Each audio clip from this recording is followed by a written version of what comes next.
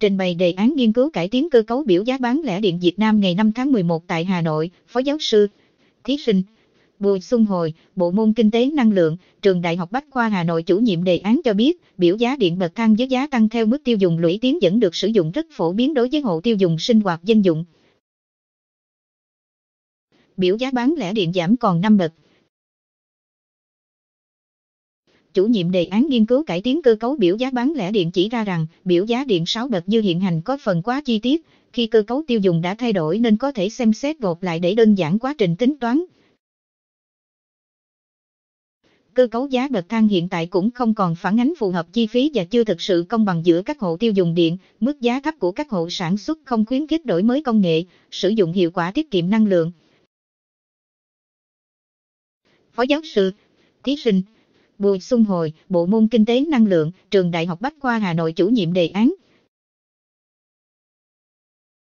Đặc biệt, giá điện một thành phần đơn giản nhưng cô phản ánh đúng chi phí người tiêu dùng gây ra cho hệ thống, không góp phần cải thiện hệ số sử dụng thiết bị, rủi ro cho ngành điện khi thu hồi chi phí cố định qua giá điện năng. Đề xuất và phân tích 3 phương án cải tiến biểu giá điện hiện hành, gồm biểu giá điện 3 bậc thang, 4 bậc thang và phương án 5 bậc thang, Phó giáo sư, thí sinh. Bùi Xuân Hội cho hay, cả ba phương án đều không gây tác động nhiều đến hộ tiêu dùng, xã hội và doanh thu của e giảm nhẹ, Mặc dù phương án 3 bậc triển khai thực tế sẽ đơn giản hơn 4 bậc và 5 bậc nhưng đây là phương án mà hộ từ 101 trừ 200 sẽ trả chi phí tăng nhiều nhất. Phó giáo sư, thí sinh, Bùi Xuân Hội nhận định phương án biểu giá điện 5 bậc phù hợp hơn cả với các mục tiêu định giá, Khi đó, hộ tiêu dùng bậc 101 trừ 200 tháng chịu tác động ít nhất trong 3 phương án, việc chia các bậc thang dùng nhiều điện chi tiết hơn cũng phù hợp hơn với đặc điểm tiêu dùng hiện nay, 5 bậc thang sản lượng cũng phù hợp với 5 bậc thang thu nhập của hộ gia đình. Nếu lựa chọn phương án cải tiến cơ cấu biểu giá bán lẻ điện theo năm bậc, người tiêu dùng tại bậc 1 101 sẽ phải trả thêm gần 2.800 đồng tháng, bậc 2 101 trừ 200 sẽ trả thêm hơn 8.300 đồng tháng, trong khi đó ở các bậc tiêu dùng điện khác đều có mức trả thấp hơn từ 12, không trừ 189, không đồng tháng.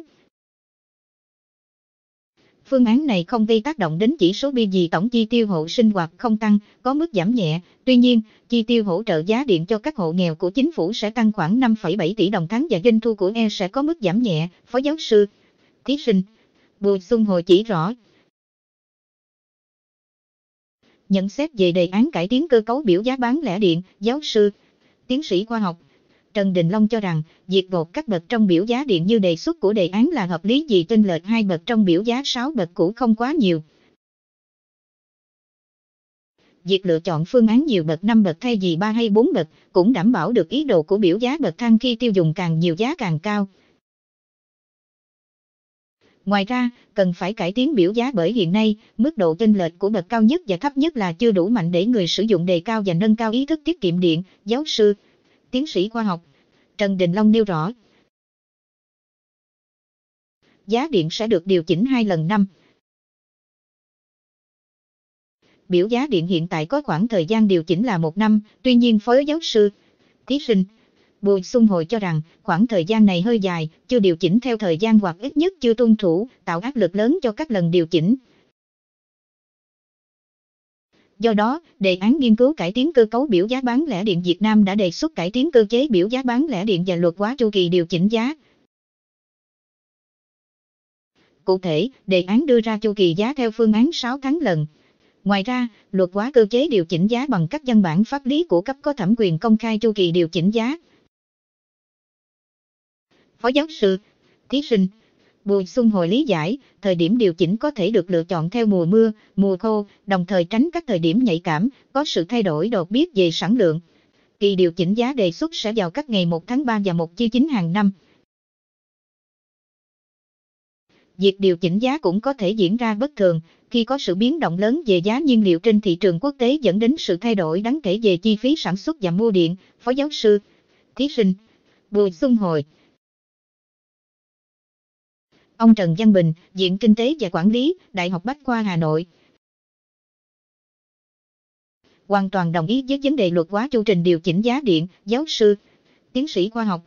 Trần Đình Long cho rằng, khi thị trường điện thay đổi hàng ngày rất cần có chu kỳ điều chỉnh cho phù hợp. Đề xuất điều chỉnh hai lần năm là hợp lý. E đề xuất thời điểm điều chỉnh, các cơ quan nhà nước chịu trách nhiệm xem xét, thông qua hoặc không thông qua. Tuy nhiên cần phải làm rõ cơ chế điều chỉnh giá, đầu vào như thế nào, tỷ giá ra sao, thời điểm điều chỉnh giá cho phù hợp với tình hình kinh tế xã hội của đất nước. Giáo sư, tiến sĩ khoa học, Trần Đình Long lưu ý. Đồng ý với đề xuất điều chỉnh hai lần năm, có thể tăng hay giảm, ông Trần Văn Bình, Viện Kinh tế và Quản lý, Đại học Bách khoa Hà Nội khẳng định mức giá điều chỉnh có tăng, có giảm, tùy theo các yếu tố đầu vào. Cần làm rõ các yếu tố đầu vào để minh bạch giá thành điện. Mỗi kỳ chỉ nên điều chỉnh với tỷ lệ nhỏ ở mức từ 3 trừ 5%, từ đó, các hộ tiêu dùng có thể điều chỉnh được hành vi sử dụng điện. tránh việc điều chỉnh một lần nhưng giá điện tăng khá mạnh lên hơn 8% khiến người tiêu dùng phản ứng, ông Bình lưu ý.